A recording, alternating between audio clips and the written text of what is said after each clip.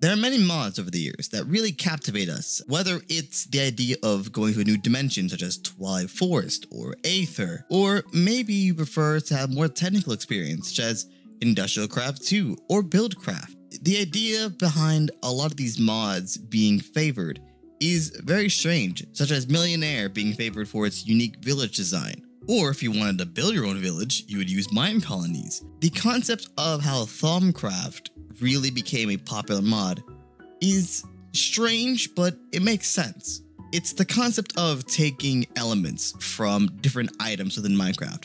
And believe me, Minecraft has a lot of items. You take the elements or like the, the properties of an item and convert it into something magical. This is such a basic concept, but it's a very nice concept for Minecraft, a game where you get a lot of materials and such. So why in the world is this mod not being updated? We're going to look into that as this is a mod that has been loved but lost through time and we're going to take a look at some interesting information regarding Thaumcraft. Now, I'm going to include a little bit of an advertisement here. Make sure to check out my Play Your Way mod pack because this mod pack does include this mod alongside Twilight Forest. And Twilight Forest is a mod that I also did a bit of a video on. But in any case, make sure to check out that video alongside giving me suggestions on what mod I should, you know, do next. But for now, let's take a look at Thaumcraft. So let's get into the reasoning behind Thaumcraft's immediate growth. Well, for one,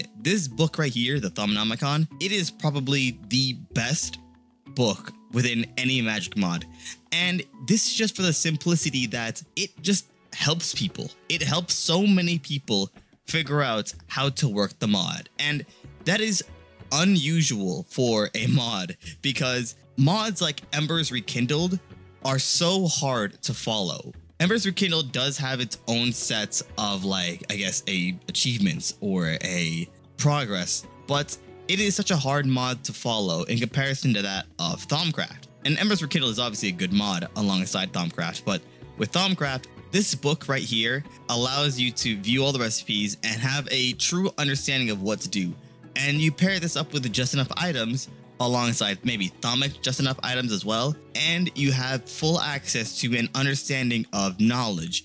And not to mention, you have a pathway in order to understand and go process through the mod and all that stuff. It's it's just overall so handy to have this kind of, of an item within a magic mod. And it's not like you gain knowledge of this item as soon as you start the game. It is such a very interesting storyline behind Thaumcraft. It isn't like you get around a magical adventure or go explore some fast magical land or anything crazy like that. You like you go to the biome and then wow, my life has been enlightened by the biome. No, it just has a simple storyline of you find magical crystals within a cave, or for example, and then you sleep, and then you're given a quest of getting three of these crystals, maybe gets a bowl, and basically just grind them up together to make a powder. I believe this is the Salus Mundus, and essentially just start your adventure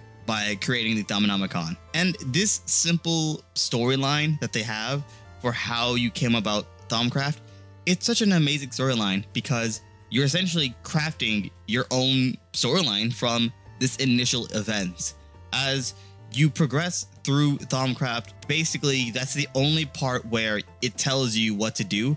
The rest is up to you and the Thaumonomicon. Eventually, you get to progress into some higher level stuff, and of course, there are consequences. That is an amazing part of any mod that has any overpowered stuff. And Magic is known to have the most consequences. Mods like Electro Wizardry, for example, are very fun. It's a very fun mod to have for, you know, certain situations, especially because it's such a simple magic mod.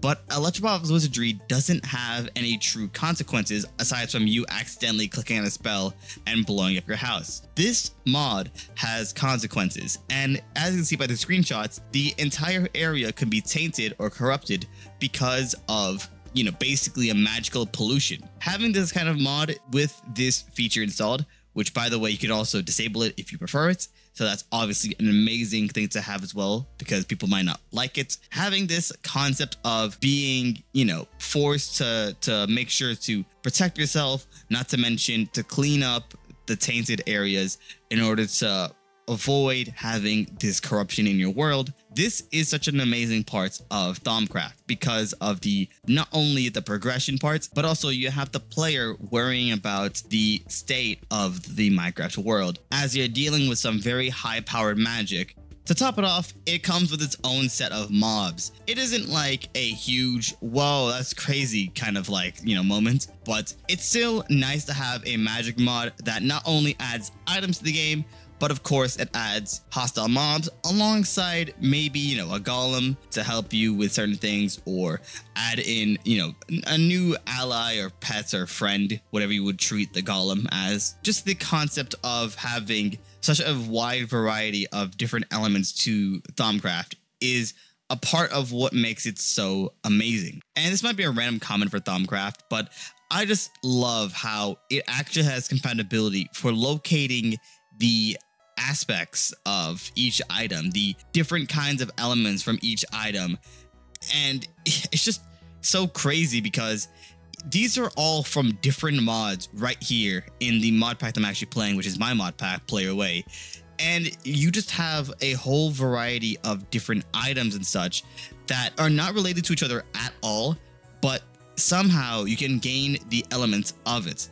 Now, of course, you guys probably came here for the more important bit, which is what exactly happened to this mod. Well, unfortunately, Azanor, as it is shown within the Minecraft forum thread or post, whatever it's called, he actually quit modding. He has stopped modding on all mods, including Thaumcraft and Baubles, which are the two mods that he is really focused on. I don't know exactly what's going to happen to the Baubles. I don't know if it's in progress of updating under something different or if there's a successor of any kind.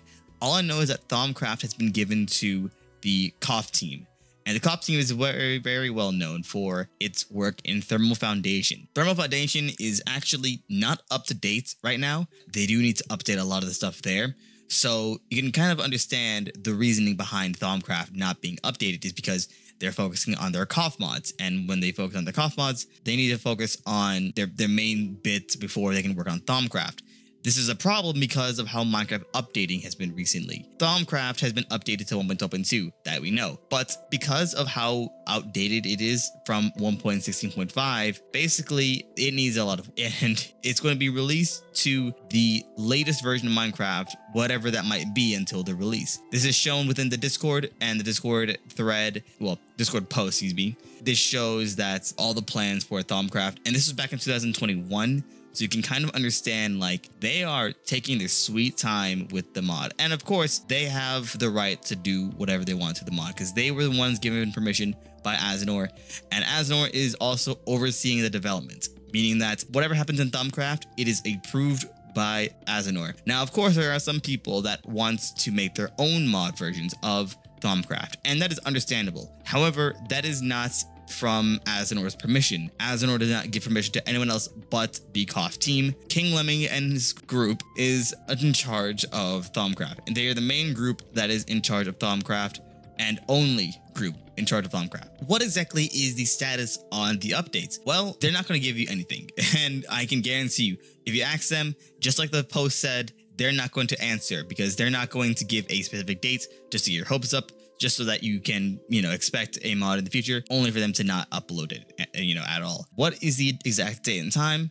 Well, we don't know. The only good news about what's happening is that there is a alpha for Thaumcraft. On the post following the April Fool's thread, they actually posted the Thaumcraft alpha in one of their CoFH mods, and they actually got 17 downloads from that Thaumcraft mod, which means that Thaumcraft is still in the works but it's in its alpha stage. And if you follow the alpha beta, you know, if you know the, the order, alpha is the earliest stage for a mod. It is being worked on. It's just so slow and it's understandable because Thaumcraft is a hefty mod. The fact that I mentioned all the stuff previously, can you, you gotta understand like the purpose behind taking your sweet time with this mod, given the fact that it is a hefty mod. To end off this video, I just want to show you a bright spot within the Thaumcraft community, and that is that the Reddit is still active, which means that to this day, people still play Thaumcraft, and people even update the add-ons for Thaumcraft. So